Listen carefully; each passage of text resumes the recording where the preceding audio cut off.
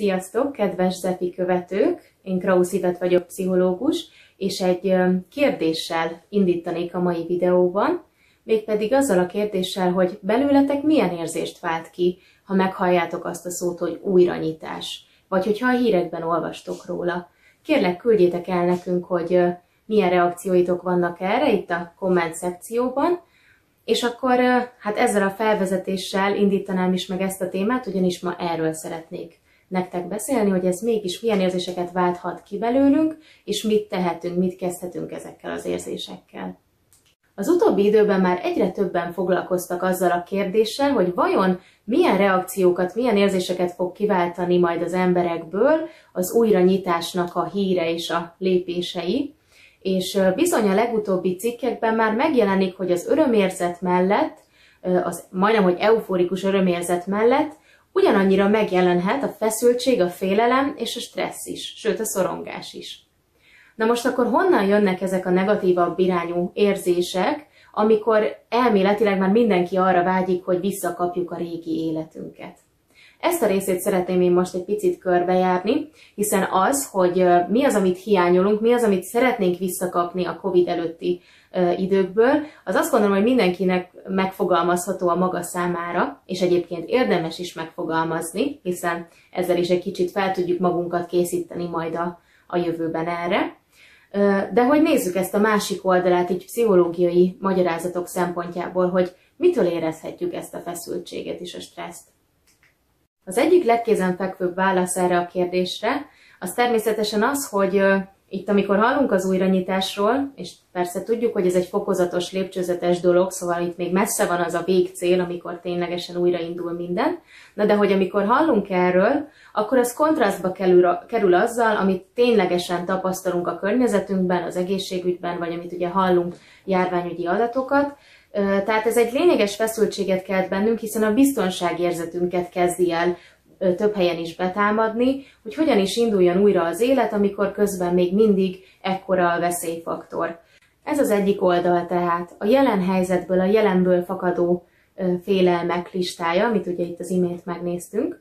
De most nézzünk egy kicsit tovább, talán úgy is fogalmazhatnék, hogy ami így a, a jövőtől való félelem, hogy azok mögött milyen tényezők állhatnak. Bizonyára sokan hallottatok már egy korábban igen divatossá vált kifejezésről, a FOMO jelenségéről, vagyis a Fear of Missing Outról, ugye, hogy kimaradunk valamiből, mert hogy nem reagálunk elég gyorsan. Na most ezzel ellentétben, de mégis ennek analógiájára, most megjelent egy olyan fogalom, hogy Fear of Meeting Up, azaz, hogy félelem a találkozástól, ami arra vonatkozik, hogy amikor vége így a karantén időszaknak, vagy ezeknek a korlátozásoknak, akkor bizony megjelenhet bennünk egy szorongás a bizonyos ismerősök, családtagok, rokonok, barátokkal való találkozástól. Ez a fogalom annak kapcsán merült fel, hogy az Amerikai Pszichológiai Társaság legújabb kutatása szerint a felnőttek 49%-a tart attól, hogy újra találkozzon az ismerőseivel, így a karantén lezárulta után, és ez független attól, hogy most egy beoltott vagy még nem beoltott emberről beszélünk.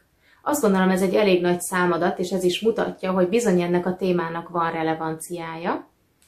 Erről a jelenségről beszélt tehát Ellen Hendrickson a BBC-nek ebben az interjújában, ami ezekről a kutatási adatokról szólt és nagyon érdekes dolgokat osztott meg itt így a nézőkkel, és ezáltal velünk is. Az egyik ilyen dolog, hogy az agyunk ugye megfigyeli azt, hogy mi hogyan viselkedünk, és hát már több mint egy éve vagyunk benne ebben a karantén helyzetben, tehát már kvázi berögzült ez a fajta életmód, ez a fajta távolságtartás. Ezért aztán az agyunk fenyegetésként éli meg annak a lehetőségét, hogy újra társaságba menjünk, ami pedig érthető módon szorongáshoz fog vezetni, vagy szorongáshoz vezethet. A jó hír az, hogy most már kétféle dologtól is szoronghatunk. Az egyik még így a vírust övező alapbizonytalanság, amiben most már egy jó egy éve, több mint egy éve benne vagyunk, a másik pedig az újraindítást körülvevő bizonytalanságok, ugye, hogy mi vár ránk a jövőben, mit eredményez ez majd egyáltalán, milyen lesz az életünk a járvány után, hogyha beszélhetünk ilyenről. Úgyhogy most már bővül a repertoár, amit felvehetünk a félelmeink, szorongásaink listájára. Na de a viccet félretéve, valóban ez nagyon leterhel így az embereknek az érzelmi állapotát, és még nyilván sok-sok mindennel lehetne folytatni ezt a sort. Láthattuk most már tehát azt, hogy milyen jelenből fakadó dolgok vannak, amiktől így félhetünk, mik azok, amik így a jövőre irányulnak, most pedig nézzük meg azt is, hogy mik azok a dolgok, amiket kvázi úgy érezzük, hogy magunk mögött kellene, hogy hagyjuk, hogyha vége a karanténnak, és újra indul kvázi az életünk.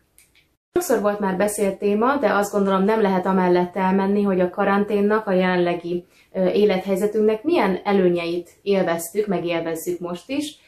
Például nagyon sokan számolnak be arról, hogy több idejük jutott önmagukra, több időt tudtak a családdal tölteni, többet tudtak pihenni, aki home office-ban dolgozik, nagyon gyakran elmondják, hogy bizonyít a saját időbeosztás mennyit segített az életükön, abban, hogy a zavaró tényezőket jobban ki tudták szűrni, tehát ez okozott egy kis megkönnyebbülést, meg hatékonyságnövekedést is.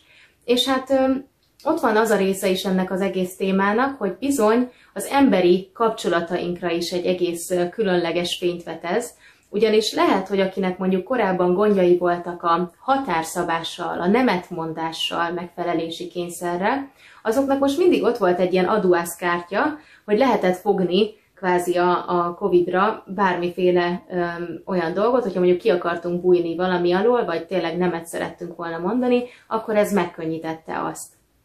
Ebből következik, hogy ö, bár megérhetjük ezt egyfajta veszteségként, hogy most már ez, ez nem fog fennállni, vagy nem fog örökké fennállni ez a helyzet, ugye még nem tudhatjuk, hogy pontosan hogy lesz, de hogy mindenképpen érdemes elgondolkodni azon, hogy akkor hogyan is működünk mi a kapcsolatainkban. Mi az, amit felvállalunk, mi az, amivel nehézségeink vannak, és milyen eszközökre lenne ahhoz szükségünk, hogy jobban tudjuk kikommunikálni azt, hogy például mire volna szükségünk.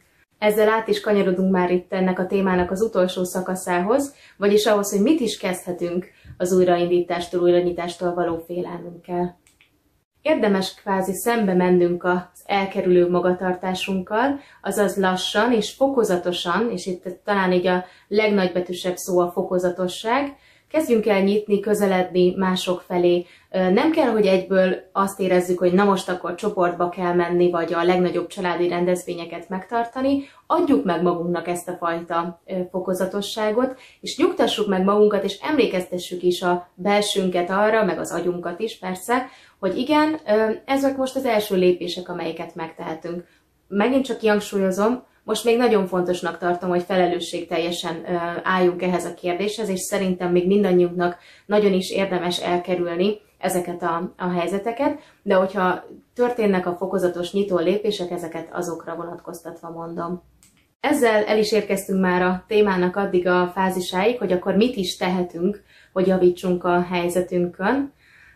Itt ismét kihangsúlyozom, hogy persze beszélünk az újraindításról, de fontos tudatosítani, hogy itt még ugyanolyan felelősségteljes viselkedésre van szükség a lakosság, azaz a mi részünkről, és hogy még valóban ténylegesen messze van ez a cél, de hogy már egy kicsit így előrevetítve szerintem jó, hogyha felkészülünk ezekre a lépésekre, hogy mit érdemes olyankor tenni. És az egyik ilyen dolog a fokozatosságnak az elve hogy legyünk megengedőek magunkkal, legyünk türelmesek magunkkal. Hogyha azt érezzük, hogy már igen, már egyre nagyobb a szabadság, akkor ez nem azt jelenti, hogy egyből százfős rendezvényekre kell menni, nagy csoportba tömörülni, hanem tényleg adjuk meg magunknak a visszaszokásnak az esélyét, hogy az agyunk is fel tudja venni a ritmust, és eleinte csak egy-két barátunkkal találkozni, és úgy tágítani ezt a kört, igényünk és kedvünk szerint, és szintén nyugodjunk meg, és legyünk biztosak abban, hogy egy végtelenül alkalmazkodó faj az emberi faj, tehát ahogy alkalmazkodtunk ehhez a helyzethez is, úgy fogunk alkalmazkodni a jövőbeni helyzetekhez is. Szóval az egyik legfontosabb tehát a fokozatosság és a türelem, és nyilvánvalóan az is nagyon fontos, hogy megtegyük azokat a napi rutinjainkat, amiket eddig is, tehát próbáljunk meg olyan kontrollérzetet teremteni magunknak, amivel biztonságban érezzük magunkat most is, és később is. Gondolok itt olyanra, hogy rendszeresen kimenni, sétálni, járni, fizikai mozgást végezni, az nagyon-nagyon fontos, a legjobb stresszoldó, eleget a levegőn tölteni, és tényleg tartani egy olyan napi, napi rutint, ami nekünk egy biztonságot és kiegyensúlyozottságot ad. Tényleg tudatosítsuk magunkban azt, hogy semmi gond nincs azzal, hogy hogy érzünk, minden érzés rendben van. Az is, hogy idegeskedünk, félünk, szorongunk, meg aggódunk attól, hogy, hogy visszaálljanak a dolgok, hogy találkozzunk rég nem látott ismerősökkel, vagy ugye az egész helyzetnek a félelme. Szóval adjuk meg magunknak azt az együttérzést, hogy ezzel minden bizonyal nem vagyunk egyedül, és nagyon sokan átmennek ezen, de hogyha erről tényleges bizonyosságot szeretnétek szerezni, akkor megint itt tartunk annál a pontnál, hogy kommunikálni, kommunikálni, kommunikálni. Beszélgessünk a barátainkkal, beszélgethetünk szakemberrel. A lényeg, hogy maradjunk kapcsolatban, és ne akarjunk elszigetelődni. Hát ennyit szerettem volna átadni, megosztani veletek ebben a videóban. Végezetül itt az EFI nevében is hadd kérjünk meg titeket, és hadd kérjük azt tőletek, hogy továbbra is tartsátok be azokat az óvintézkedéseket, amiket eddig, legyetek óvatosak, és vigyázzatok magatokra, vigyázzatok egymásra is. Köszönöm, hogy velem tartottatok, és további szép napot kívánok. Sziasztok! Az online program a VECOP 7.2.2 kötőjel 17 kötőjel 2017 kötőjel 0004-es számú a Zuglói Lakosság Egészségfejlesztése című projekt keretein belül valósult meg. A videó készült Magyarország kormánya megbízásából az Európai Unió támogatásával.